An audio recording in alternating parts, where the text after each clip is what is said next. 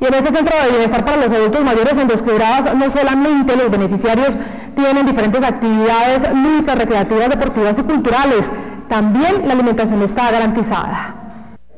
Los abuelitos durante todo el día cuentan con elementos necesarios para poder realizar las diferentes actividades programadas y los alimentos principales. Salen a almorzar, luego salen a hacer, eh, aprender a, hacer todo lo de cerámica, otros eh, están en la piscina, otros están sembrando en, la huerta. Y, aeróbicos también desde tempranas horas en la mañana, o sea que aquí pasan entretenidos toda, todo, todo el día más bien.